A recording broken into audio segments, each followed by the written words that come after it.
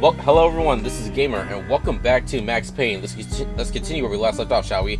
We are in the nightmare mode again, but this time, instead of getting knocked out from a drug and a drink, we got OD with a drug of V.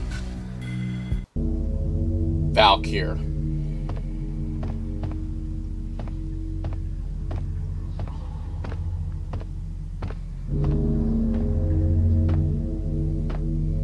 So yeah, some mysterious woman oh, injected us with um with uh, Valkyr, and that's not good. Who's there? Max? Max, is that you? That sounds like Max's wife, Michelle. Max? Where are you, Max?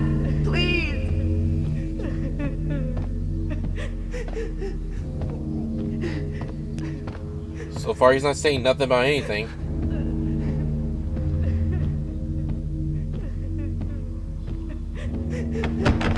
Locked. No, please, Max, no. I'm sorry. Please don't, Max, no. Please. Locked.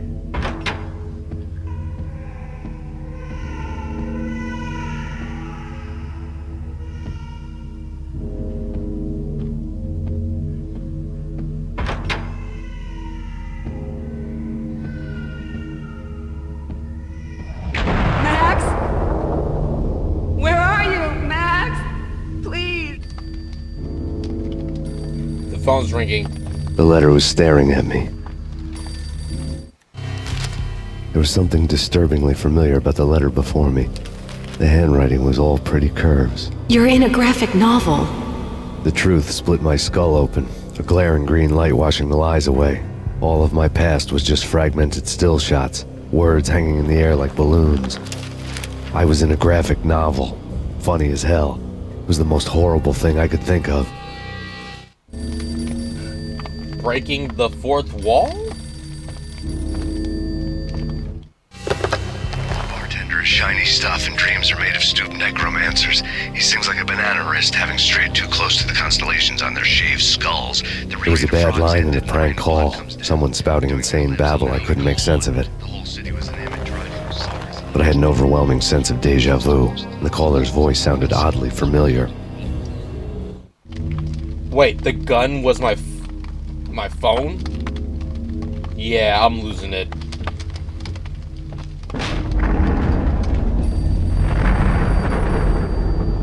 The weird piece of paper looked dangerous. There was something disturbingly familiar about the letter before me. The handwriting was all pretty curves. You're in a computer game, Max. The truth was a burning green crack through my brain, weapon statistics hanging in the air, glimpsed out of the corner of my eye, endless repetition of the act of shooting, time slowing down to show off my moves, the paranoid feel of someone controlling my every step. I was in a computer game. Funny as hell, it was the most horrible thing I could think of. Okay, we're breaking the fourth wall here, people.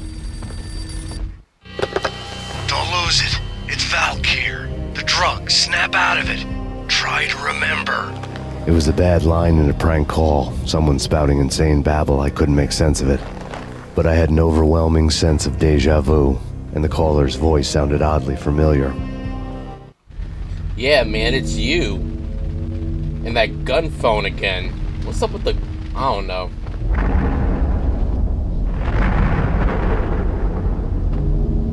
Well, at least we don't have to worry about that anymore. I guess.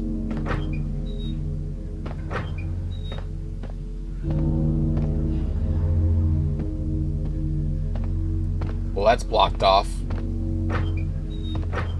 There's no point of messing with that.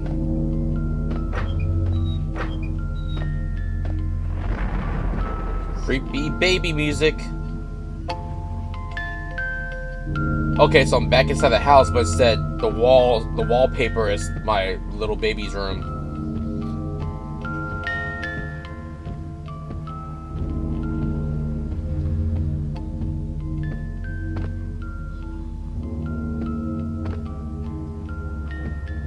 Hmm. Oh no.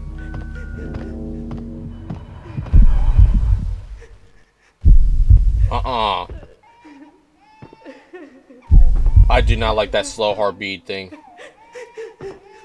I'm not a fan of that. Let me save. Because I do not trust this part.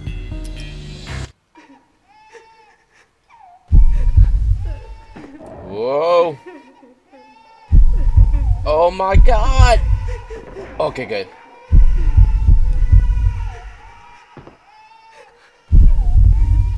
Oh god, this is slippery.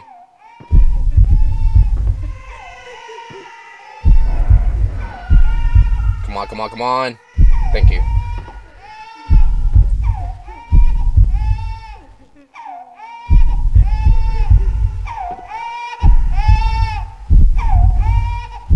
Oh no! I slipped!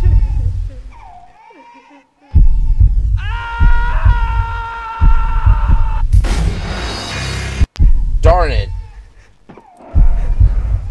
Yeah, this part's hard, guys. It's like the floor... Like the flooring with the blood smear, it's like, it makes it the floor slippery. Before it wasn't too bad. Jesus Christ.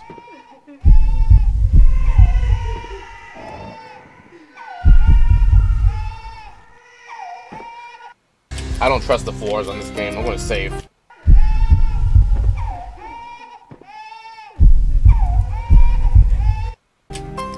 See what I mean?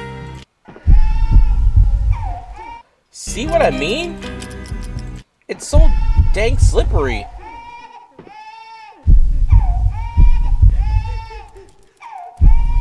What the heck, man? Really?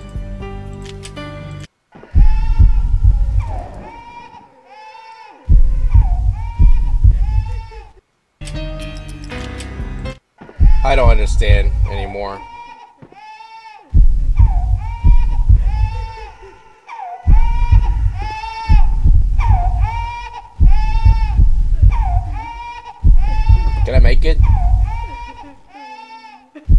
Ooh, I got lucky. Let me save. Because I don't trust this nightmare.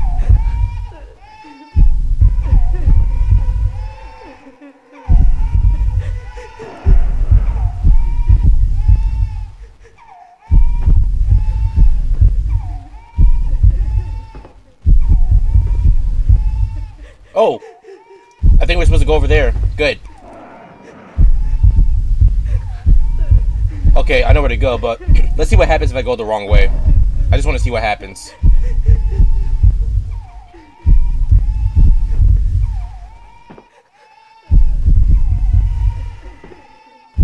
Let me save.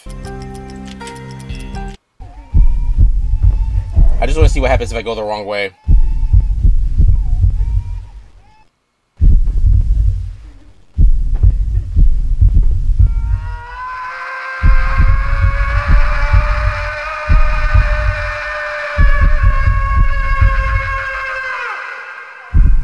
Oh my god. That is the sound of like a baby getting tortured. Like literally the hair on my arm just stood up from hearing that. Oh my god. No, don't you dare slip, Max. Come on. Jesus Christ, man. Alright, we know where, where we need to go.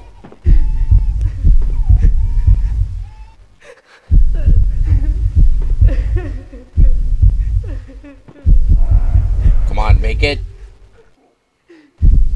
Good. Max! No! Max! Murderer! You killed her! It's my other me.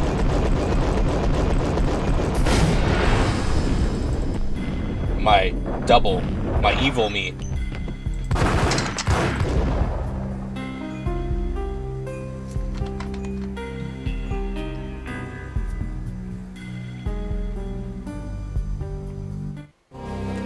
Max, something happened at the office today. A strange memo. Something about Vikings. Honey, I gotta run. You can tell me all about it this evening. Have a nice day, darling. The bullet holes were rubies on her chest, blood glowing on her ivory skin. She was so beautiful. The killer was smiling. The flesh of fallen angels. Chapter 1 Take Me to Cold Steel. Part 3 A Bit Closer to Heaven. Slowly, the green nightmare faded, leaving dark stains on my soul that would never come off. I felt like flatlining. I was all shook up. I woke up in a cold sweat, sick and tired to the bone, lying in a puddle of my own puke. The hag had said take me to cold steel before it had all gone crazy. It was a clue. The only one I had. It took me forever to crawl back to my feet and hit the road, but when I did, I drove straight to Cold Steel Foundry outside the city. There was a whole lot of action around the place for a freezing winter night. Trucks coming and going, men running. I had the drop on the Mystery Witch. She thought I was dead. I was on her blind side. I was going in. The bad trip had put me in a crazy mood, adrenaline pumping through my aching veins. Staggering on the mill roof in ice and snow and wild wind, I was a ninja. My kung fu was strong. I wasn't kidding anybody. At best, I was Superman on Kryptonite about to fall through a skylight, down to where it was all going down. A half abandoned industrial area in the middle of nowhere. The factory was a perfect front for any number of illegal activities.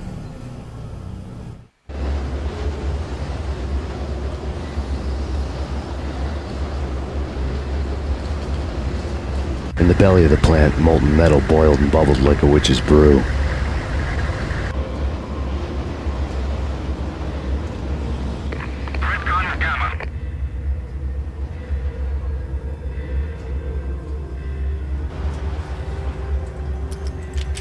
Still have the baseball bat. Ooh, I got my lead pipe back. Nice. And I got my Beretta. Sweet. Let me go over here. Let me save. Alright guys, I'm going to end my video here. If you like this series of videos, please give this video a like, comment on this video on how you like the game so far, subscribe to the channel and you'll see more gaming videos like these. Alright, this has been Gamer. Peace out, and I'll definitely see you on the next episode of Max Payne, where Max Payne is going to hit the Cold Steel Foundry. Alright, bye everyone.